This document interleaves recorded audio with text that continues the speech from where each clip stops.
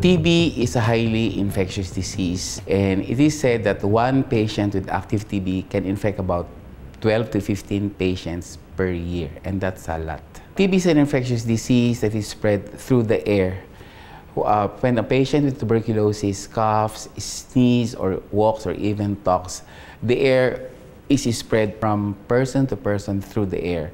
TB is spread via inhalation of the TB bacteria.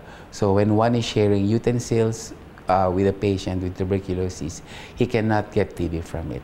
The best way to prevent tuberculosis is to have that person with tuberculosis treated because the moment the patient takes his medicine, his bacillary load decreases, hence his chances of spreading the disease to other people is decreased significantly. It is said that it takes about two weeks of treatment before the person becomes completely non-infectious. People who are most prone to tuberculosis can be classified into two groups. The first group include people who are recently infected with TB bacteria.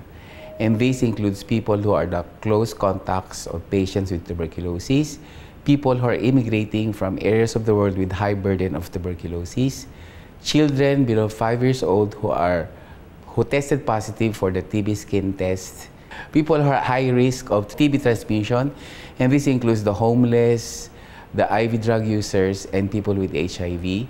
And of course, lastly, people who are working or living with people who have tuberculosis in facilities like the hospitals, uh, jails, shelters for the homeless or the nursing homes, and shelters with patients who have HIV.